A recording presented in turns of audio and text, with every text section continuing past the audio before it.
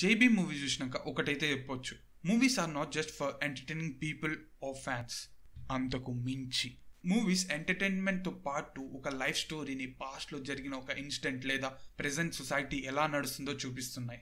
మీ అందరికీ ఈ పాటికి తెలిసే ఉంటుంది జై భీమ్ ఒక ట్రూ స్టోరీ పాస్ట్లో జరిగిన ఒక ట్రూ ఇన్సిడెంట్ మీద బేస్ అయి తీసిన మూవీ అని. It was a case fought by K Chandru nineteen ninety three who is now a retired high court judge of Tamil Nadu మూవీలో చంద్రు రోల్ని సూర్య ప్లే చేశాడు. నేను ఏ హీరో ఫ్యాన్ని కాదు అన్ని మూవీస్ని ఈక్వల్గా ఎంజాయ్ చేసేటోని కానీ చిన్నప్పటి నుంచి నా ఫేవరెట్ యాక్టర్ సూర్య. నా ఫేస్బుక్ ప్రొఫైల్ పిక్చర్ కూడా సూర్యదే ఉండేది. మీరు అనుకోవచ్చు ప్రొఫైల్ పిక్చర్ పెట్టుకున్నంత మాత్రం నీ ఫేవరెట్ యాక్టర్ అయిపోతాడా అని. ఏం చేద్దాం? ఆ టైంలో నా ఫోటోని అప్లోడ్ చేసేంత సోర్సెస్ నా దగ్గర లేకున్నాయి. సో నాకు దొరికిన నా ఫేవరెట్ యాక్టర్ ఫోటోనే నేను తీసి పెట్టేశా నిజం చెప్పండి ఎంతమంది మీ ఫేవరెట్ యాక్టర్స్ పర్సన్స్ ఆర్ హీరోయిన్స్ని ఇప్పుడు కూడా మీ ఫేస్బుక్ ప్రొఫైల్ పిక్చర్ కనో లేదా వాట్సాప్ డీపీగానో లేకపోతే ఇన్స్టాగ్రామ్ డీపీగానో వాడుతున్నారు అని. సో వాళ్ళందరూ మీ ఫేవరెట్స్ అనే పెట్టుంటారు కదా. అట్లనే సూర్య కూడా నా ఫేవరెట్ నాలాగే చిన్నప్పటి నుంచి మీకు ఎవరో ఫేవరెట్ హీరో ఉండే ఉంటారు. అదెవరో కింద కామెంట్స్లో మెన్షన్ చేయండి. నా ఫేవరెట్ యాక్టర్ సూర్య తీసిన మూవీ గురించి ఇలా నా ఛానల్లో మాట్లాడుతున్నా అంటే ఎందుకో మస్తు ఖుషిగా ఉంది. Srimanthudu despite its commercial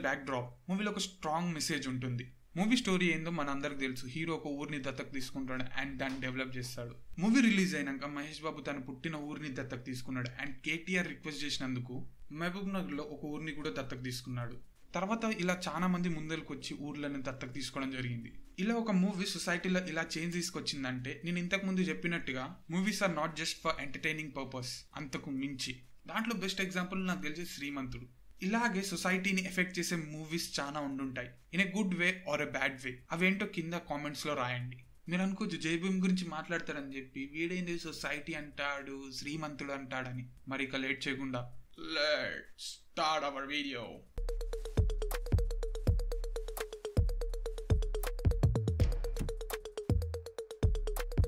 movie first scene నుంచే మూవీ దేని గురించి చెప్పబోతుందో క్లియర్గా అర్థమైపోతుంది. అండ్ ఆ సీన్ చూసినాక మరి ఇలా ఉండేవారా అని అనిపిస్తుంది. And sad to say it ఇప్పుడు కూడా ఇలాగనే ఉందంట. మూవీ స్టోరీ ఏంటంటే చేయంతపకి కొంతమందిని అరెస్ట్ చేస్తారు. అండ్ కేవలం వాళ్ళ క్యాస్ట్ వల్లనే తప్పు ఒప్పుకునేలా చేయాలని వాళ్ళని బాగా టార్చర్ పెడతారు. ఆ తర్వాత వాళ్ళు స్టేషన్ నుంచి మిస్ అవుతారు. సో అలాంటి కేసుని కే చంద్రు ఎలా డీల్ చేశారా అనేది movie actually this case took place in nineteen ninety three కానీ మూవీలో నైన్టీన్ నైన్టీ ఫైవ్ అని చూపించారు. మూవీలో చూపించినట్టుగా కేసు అంత తొందరగా అయిపోలేదు. రియల్ లైఫ్లో కేసు చాలా ఏళ్ళ వరకు నడిచింది. సో ఇలాంటి చేంజెస్ మూవీలో చూడడం జరుగుతుంది which are different from the real life incident director Gnanavel real లైఫ్లో ఇన్సిడెంట్ని తీసుకొని తన ఒక మెయిన్ కోర్ కాన్సెప్ట్ని అలాగే ఉంచి ఆడియన్స్కి సింక్ అయ్యేలా సినిమాటిక్ టచ్ ఇచ్చి మూవీని తీయడం జరిగింది. మూవీలో సినిమాటిక్ టచ్ ఎలా ఉన్నా కూడా కోర్ట్ సీన్ మాత్రం చాలా న్యాచురల్గా ఉంటుంది. మనం చాలా మూవీస్లో హీరో జడ్జిని క్వశ్చన్ చేయడం అరవడం లాంటి సీన్స్ చూసుంటాం సో ఈ మూవీలో అలాంటివి ఏం లేవు.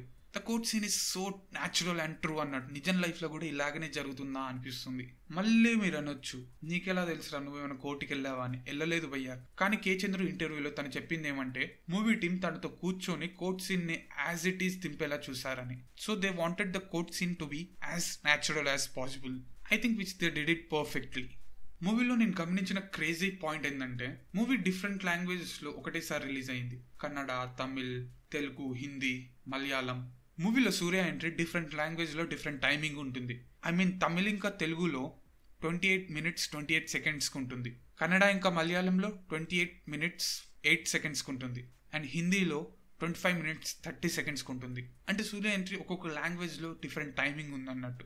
కానీ మూవీని ఒరిజినల్గా తమిళ్ళో తీశారు కాబట్టి latest consider the timing of Tamil. అయితే దీంట్లో Suriya entry who plays the role of Chandru ఎగ్జాక్ట్గా twenty eight minutes twenty eight సెకండ్స్కి ఉంటుంది. So what is twenty eight నేను ఇదివరకు చెప్పినట్టుగా రియల్ లైఫ్లో చంద్రు నైన్టీన్ నైన్టీ త్రీలో ఈ కేసుని టేకప్ చేశారు. ఇప్పుడు ట్వంటీ ట్వంటీ వన్ అంటే ఎగ్జాక్ట్గా ట్వంటీ ఎయిట్ ఇయర్స్ అనమాట మేబీ మూవీ డైరెక్టర్ సూర్య ఇంట్రడక్షన్ని ఎగ్జాక్ట్గా twenty eight minutes twenty eight సెకండ్స్కి plan చేశాడా? ఒకవేళ తను ప్లాన్ చేసి చేశాడంటే just hands of or unfortunately జరిగిపోయిందా? లేదా నేనే ఎక్కువ ఊహించేసుకుంటున్నానా ఈ ట్వంటీ ఎయిట్ థింగ్ ఏదైతే ఉందో దాని గురించి మీరేమనుకుంటున్నారో కింద కామెంట్స్లో రాయండి. నేను చదువుతా. మూవీలో యాక్ట్ చేసిన ప్రతి ఒక్క యాక్టర్ వాళ్ళ పర్ఫార్మెన్స్ని చింపేశారంతే. ఒకవేళ మీరు మూవీ చూసే ఉంటే నేను దేని గురించి మాట్లాడుతున్నా మీకు అర్థమై ఉంటుంది. ఒకవేళ మీరు movie చూడలేదంటే go and watch the movie నా టూ థౌజండ్ ఫిఫ్టీన్లో సేమ్ ఇదే కాన్సెప్ట్తో విచారణై అని తమిళ్ మూవీ వచ్చింది. మన తెలుగులో విచారణ. మూవీ యూట్యూబ్లో అవైలబుల్గా ఉంది చూడండి you will love it so finally what I says Jai Bhim లాంటి ట్రూ స్టోరీ మీద బేస్ అయిన మూవీస్ విచారణ రావడానికి కారణం సొసైటీలో ఇలాంటి ఇన్సిడెంట్స్ జరిగాయి జరుగుతున్నాయి. అందుకే ఇలాంటి మూవీస్ వస్తున్నాయి. We can only wish for this kind of caste difference to come to an end three words caste is ఈ వీడియోని ఎండ్ చేసే ముందర ఒక మూవీ గురించి చెప్పాలి. శ్రీమంతుడు గురించి మాట్లాడాం కదా. అలాగే జనతా క్యారేజ్ కూడా. Bro it's not carriage it's garage పోనీ. చెత్తానా? లెఫ్ట్ లెక్చర్ అంతా. మెసేజ్లు ఇస్తున్నాడు మెసేజ్లు. సరే అండి సరే. ఇంట్రెస్ట్ మొత్తం పోయింది. మరి ఈ వీడియోని ఇక్కడనే ఆపేద్దాం. ఈ వీడియో కానీ మీకు నచ్చినట్టయితే లైక్ చేయండి నచ్చకపోతే డిస్లైక్ చేయండి. ఎక్కువ నచ్చేస్తే మీ ఫ్రెండ్తో షేర్ చేసుకోండి. వీడియో ఇంతవరకు చూసారు కాబట్టి ఛానల్ని మాత్రం సబ్స్క్రైబ్ చేసుకోవడం మర్చిపోకండి. వీడియో చూసి ఛానల్ని సబ్స్క్రైబ్ చేసుకోకపోతే చాలా గలీజ్గా ఉంటుంది. సబ్స్క్రైబ్ చేసుకోండి అబ్బా. బాయ్.